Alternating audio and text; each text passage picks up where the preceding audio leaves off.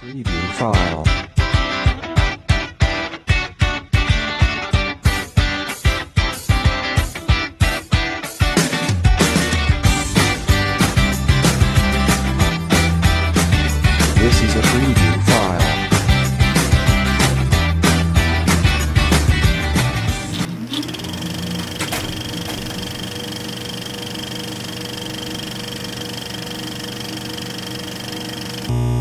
Buongiorno a tutti, Chuck si gira, storie di musica con Franco Daldello e naturalmente il sottoscritto Alberto Salerno. Ragazzi, stiamo andando fortissimo con questo piccolo format per appassionati, caro Franco, perché questo formattino che, che vive su YouTube e sui social piace molto perché noi raccontiamo un po' le storie dietro le quinte dei dischi, cioè gli artisti vengono ma sono pochissimi quelli. E più gente come te, tu che hai fatto la storia della sei parte storica, posso fare un attimo un minimo di presentazione. Alla Ricordi, hai debuttato alla Ricordi come ragazzo di bottega con Mariano Rapetti, però ragazzi, che ragazzo di bottega, piazzavi pezzi a, a profusione, grande piazzatore di pezzi insieme ad Adriano Solaro, Michele Del Vecchio, altri giovani baldanzosi poi grande fondatore della numero uno, scusa se poco, la più grande etichetta indipendente, leggendaria che sia apparsa nella musica italiana. Io la numero uno la amo perché alla numero uno sono cresciuto e con te sono cresciuto e diventato adulto. Poi non solo, non ti sei accontentato di fare, scusa, pres- continuo a presentare, non ti sei accontentato della numero uno. Avanti alla CGD, alle- con Carrera, con Bigazza, hai fatto praticamente scoperto Tozzi. Insomma, tu sei veramente un uomo che ha fatto nella musica italiana un ruolo molto importante, che hai fatto delle cose veramente mirabili. Però tu oggi non sei qui a raccontare di te stesso. Perché cosa sei qua tu oggi? Sentiamo se lo sai. Beh, eh, credo, eh, non faccio finta di non saperlo, lo so, ma ci tengo però a... Tanto ti ringrazio di questa bellissima presentazione che mi hai dedicato, ma è importante che chi ci ascolta e ci vede eh, è abituato a sentire le esperienze soprattutto degli artisti o, o di persone che parlano sempre in prima persona. Io, tu lo sai, ho fatto l'editore, eh, il mio primo maestro è stato Mariano Rapetti, come hai detto tu, eh, che mi diceva, ricordati che il compito principale dell'editore è portare la valigia dell'autore. E questo io, non materialmente, ma eh, l'ho sempre fatto. E perché comunque dietro la storia eh, di un disco, di un, di un interprete, di, di un autore, non è che c'è solo una persona, c'è sempre un, c'è un, ci sono gruppi, delle volte si contrastano, delle volte all'interno della stessa azienda trovi quello che è favorevole a, alla canzone di Alberto Salerno e l'altro che invece gli va contro perché preferisce la canzone. Allora bisogna lottare. Bisogna... Questo, queste sono cose che le, eh, le, abbiamo fatte, tu lo sai, eh, tutti ci siamo passati. Poi ci sono gli, gli, artisti bravi che imparano poi a navigare da soli e vanno avanti. La nostra Però storia. Tu oggi sei qua, tu sei qua per parlarci di Luigi Tenco, perché tu hai avuto la fortuna di conoscere Luigi Tenco quando eri alla Ricordi, non proprio all'inizio inizio, però diciamo a quando prima che passasse all'RCA, diciamo che tu sei stato lì. Allora, eh, io posso testimoniare questo di Luigi Tenco, ma eh, intendo proprio chiarire che io ho conosciuto, praticamente sono entrato in ricordi il primo aprile del 1964 e la storia di Luigi si è conclusa a febbraio, mi pare, del 67. Quindi non ho... eh, e, nel, e nel frattempo, in questi arco di questi quasi tre anni, eh, Luigi non era, veniva spesso alla Ricordi e mi aveva anche preso in simpatia, penso, da come ho io le immagini, tanto è vero che sono andato anche a casa sua a Recco e sono stato con lui tutta un'intera giornata durante la quale eh, un mio zio fotografo gli fece un servizio fotografico che andò su Annabella, un bellissimo servizio, dove lui si medesimava ne, nella figura di un gatto. E per dimostrare che lui era un gatto, siccome questa bellissima casa aveva una, una torretta, ci fece vedere con le forze delle sole braccia, invece che salire dall'interno con le scale, lui, lui salì perché aveva una forza fisica enorme dall'esterno, proprio si arrampicò fino al culmine della torretta. Era sicuramente e... un tipo particolare. Ci sono due frasi che Luigi ha detto, una in un'intervista con Sandro Ciotti e disse la mia più grande ambizione è quella di fare in modo che la gente possa capire chi sono io attraverso le mie canzoni, cosa che non è ancora successa. In questo mi ricordo un po' Battisti che anche lui diceva non voglio fare interviste. È vero. Ascoltatemi, un'altra frase che, di, che ha detto Luigi Tenco, e non si vive per riuscire simpatici agli altri. A me i soldi, il successo non interessano. Li lascia quelli più furbi di me in questo genere di cose. Io non lo so se questo poi lui, lui credo che fosse di un'ottima famiglia, veniva da un'ottima famiglia, era un uomo di classe, no? Era un signore. Cioè, una... Diciamo la verità, Franco, nell'ambiente nostro non è che di signori proprio ce ne sono tanti. Mm. Luigi Tenco e come Gino Paoli erano dei signori, no? Ma erano dei signori soprattutto intellettualmente, persone molto intelligenti. Eh, Luigi, Luigi eh, questo penso sia ormai stato detto anche da altri testimoni che hanno avuto l'esperienza di conoscerlo, era anche una persona molto simpatica. Non, non, dietro, dietro, quella uh, immagine che il pubblico si è fatta di una persona triste, non è vero, era, era facile la battuta. Mm, così lo ricordo io. Eh, ricordo, ricordo per esempio per quella giornata che ho trascorso a casa sua, che c'era anche la sua mamma, eh, il grande amore che c'era fra lui e la mamma. Io credo che eh, lui ha fatto molto per la mamma e poi comunque tornando, cioè la mamma riusciva a gestire una grande canzone, vedrai, vedrai, era dedicata alla mamma. Esatto.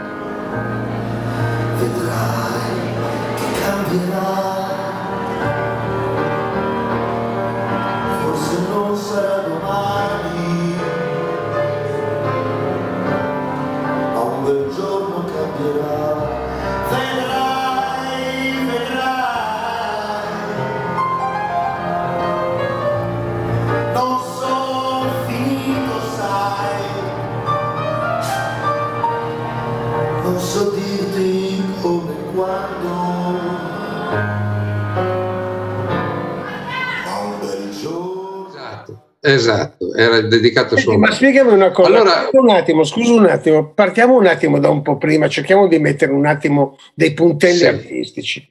Mi sono innamorato di te, che ancora oggi è Angela, è Angela che credo Angela fosse sì. la segretaria della Ricordi se non sbaglio, comunque. Sì, su questo, su questo, su Ma questo i, i tempi non collimano secondo me. Angela però sì, mi ricordo, era, un, era, una segretaria della Ricordi, sì. Senti, ma mi sono innamorato di te.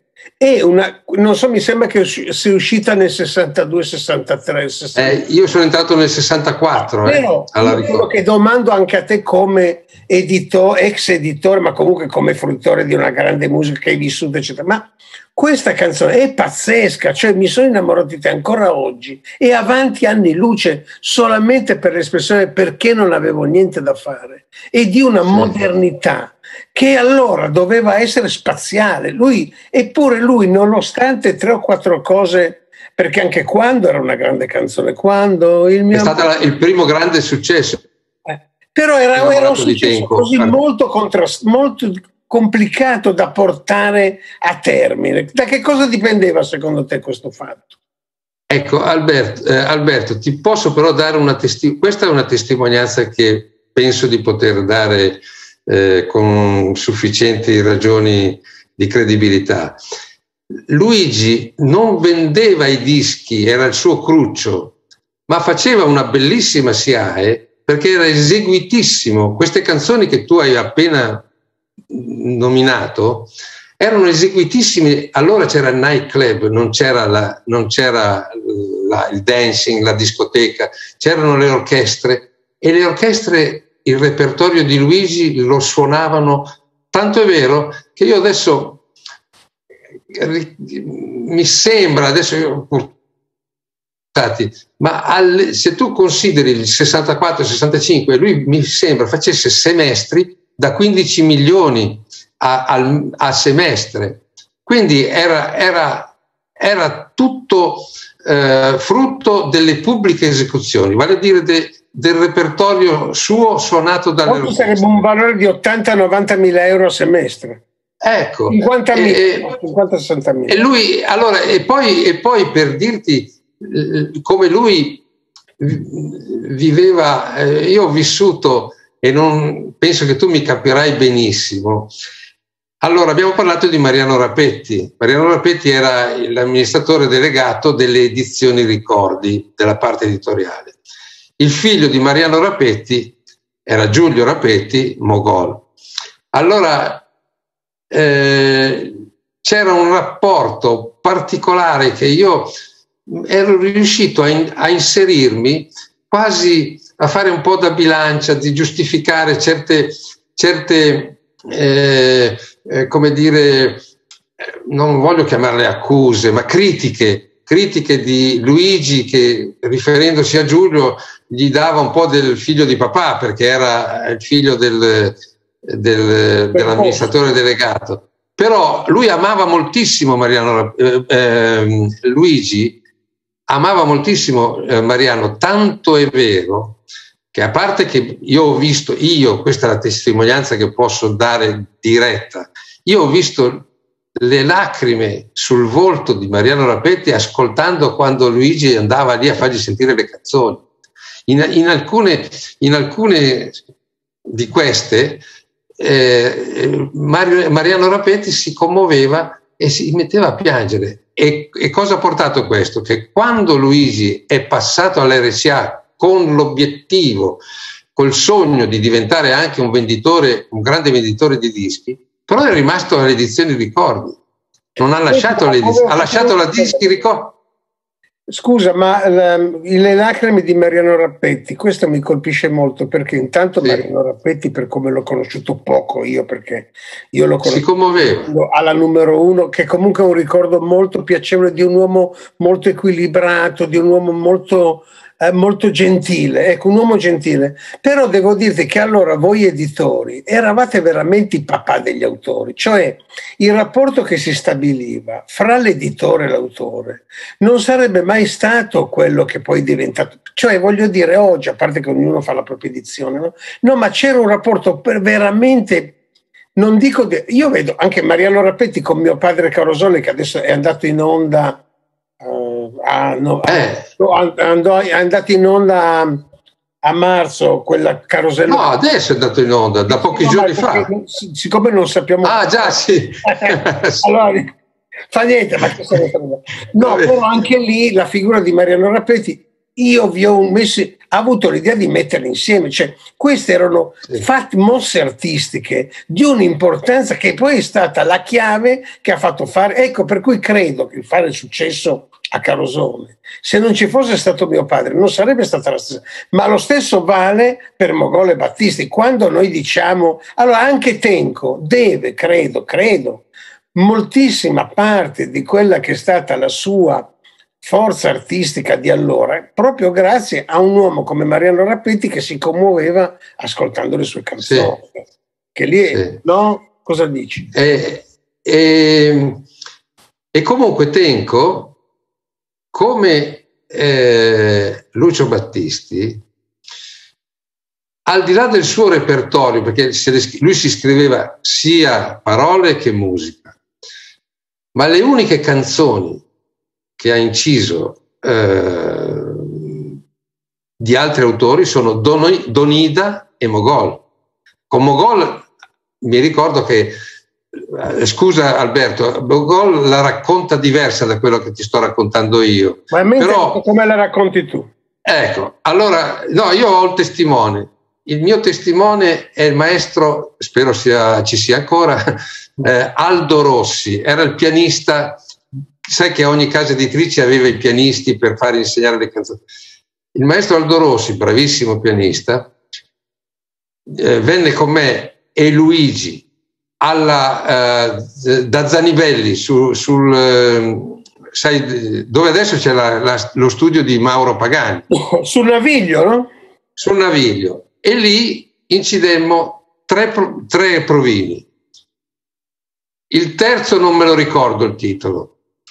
Il secondo era Il tempo dei limoni, che è una canzone che non è mai successo niente, è rimasta sempre nel cassetto. E la prima era Se stasera sono qui.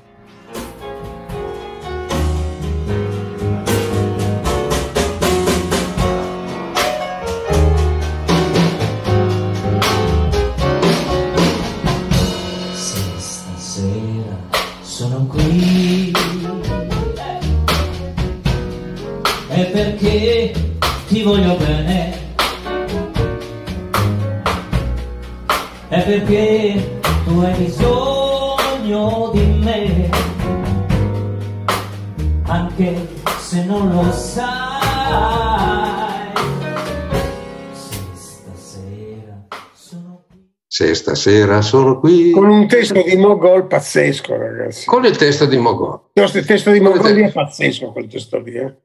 Sì, ma la, perché, la, perché sai che Giulio, io penso anche tu, eh, dice che il, test, il, il, testo bello è già dentro la, la musica bella. Lui dice così. E lui spiega, la, comunque la, la, musica di stasera, stasera sono qui è una bella canzone. E, e quindi eh, eh, cosa è successo? Che Luigi a un certo punto, pur avendomi preso in simpatia, ma anche sempre in modo simpatico, mi rimproverava, io che piazzavo le canzoni, che non riuscivo a piazzare le sue canzoni. Eh, in quel momento eh, ne le, can- le canzoni lui nel proprio repertorio. Allora io mi diedi un grande affare per piazzare se stasera sono qui. E penso che tu abbia già intervistato Lucio Salvini, che mi è testimone, perché un bel giorno, a furia di battere il chiodo, trovai eh, l'allora delegato della Dischi Ricordi, Guido Rignano, e Lucio Salvini nell'ufficio di Lucio che mi dissero va bene basta ci hai, ci hai sfibrato faremo fare alla Goic se stasera sono qui, perché loro vedevano la Goic sempre come una cantante di canzoncine allegre. Invece io gli dimostrai che lei arrivò terza al Festival di Barcellona con un'altra canzone eh, di, di, Luigi che in questo momento mi sfugge, ma era una canzone mh, mm, non allegra. Poi c'è canzone... un interprete pazzesco, cioè è un interprete bravissima, una, eh. è, una, è una grandissima cantante. Ecco, e quindi lei fece quel grande successo con Se stasera sono qui, ma di, eh, perché io avevo proprio dentro di me il, mi risuonava sempre questo rimprovero di Luigi. E poi scusami, però lui ha fatto successo, e stasera sono qui, ha fatto su, un successo postumo perché Tenco è morto. Sì, era già, era già morto. 67, ma la Goccia sì. ha fatto successo nell'estate del 67 perché esatto. marzo, esatto. Aprile, poi io me lo ricordo. Sì. Ma devi sapere, allora, allora ti racconto, devi sapere che eh, io mi misi in moto prima del Festival di San povero di Luigi era precedente. Io portai questa canzone, credo, a tutti i cantanti italiani. L'unico che la, vera, la voleva veramente incidere era Tony Renis. Ma Melis, il direttore generale della, della RCA, così mi racconta Tony, eh, non gliela fece fare. Alla fine eh, è successo quello che è successo, la tragedia di Luigi, quindi ricordo di questo rimprovero e nella mia volontà di, di fare, di riuscire a piazzare una canzone di Luigi, feci il diavolo a quattro Eh, te l'hai con... fatta, perché alla fine è stato un grande successo questa stasera. Sì, se vuoi ti racconto anche, ti racconto, se può interessare, eh, poi magari lo tagli se non... se- ehm, riunione, allora al- in quel momento il direttore artistico della Ricordi era Hiller Pattaccini, un uomo eh, simpatico ma di un carattere molto forte. Eh, ci facciamo una riunione, tutti, eravamo tutti, Mariano Rappetti, eh, Rignano, il dottor Clausetti, vari- c'era tutto lo staff principale della Ricordi, sentiamo se finalmente so- il disco di Se stasera sono qui della, della Vilma Goic.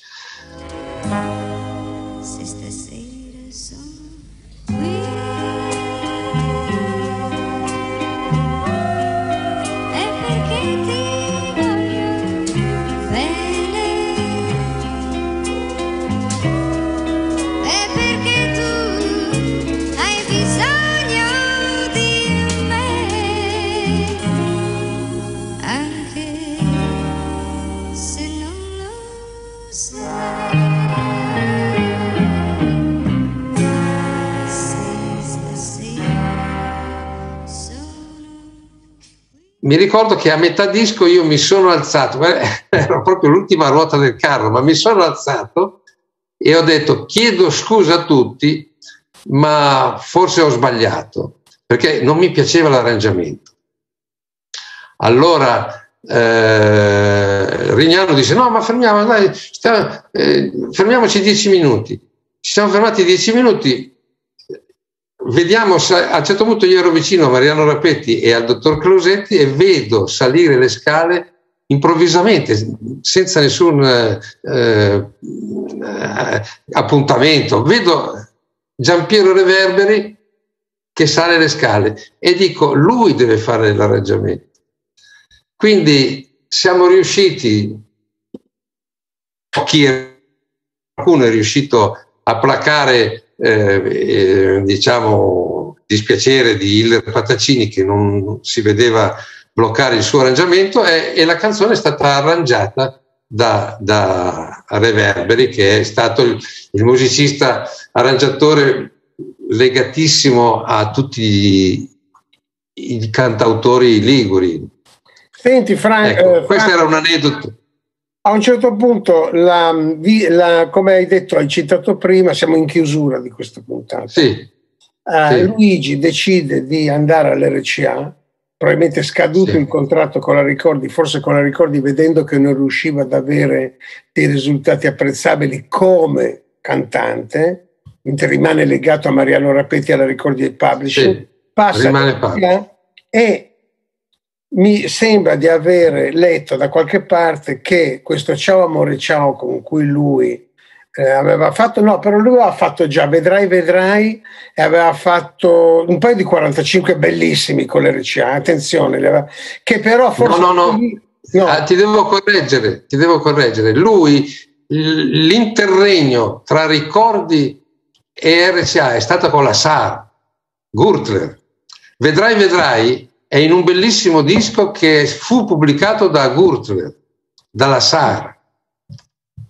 Vedrai, vedrai. Eh, Ecco, eh, ero convinto fosse RCA, Vedrai Vedrai. no, no, no, vedrai, vedrai era Gurtler. Allora lui è passato prima alla SAR, ha fatto queste 2,45 eccetera, poi è andato a Sanremo con Ciao Amore Ciao e mi dicono, leggono, non so dove l'ho letto, dove, che, Mogo- che Giulio Mogol eh, lo aveva sconsigliato assolutamente di andare con quella canzone al festival perché lo- non la riteneva adatta al festival. Tu mi confermi questo fatto che Giulio... Allora, io ti confermo questo, che io ero appena uscito, era dicembre mi ricordo, ero appena uscito, eh, avevo fatto un in,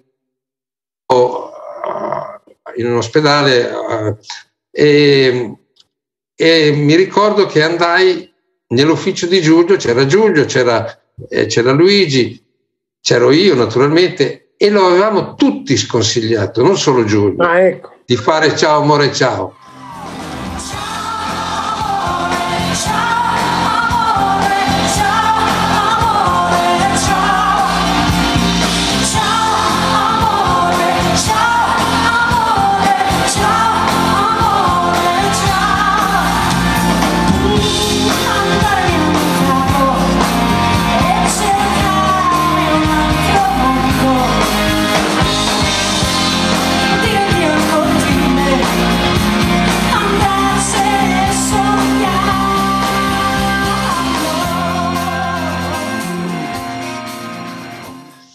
Tanto è vero che eh, perché io gli dicevo devi fare se stasera sono qui, scusami, eh.